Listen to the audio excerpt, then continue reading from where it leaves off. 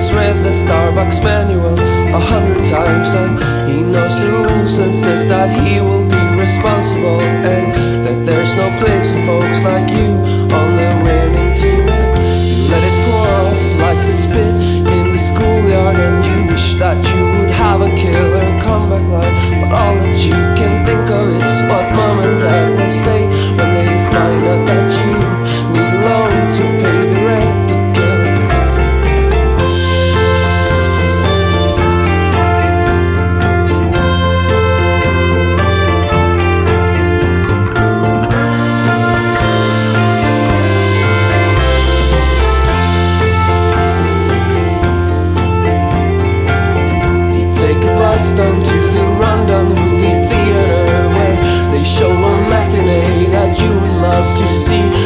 And Jim tries to impress G and Moreau, you dream of love so great that it will fill you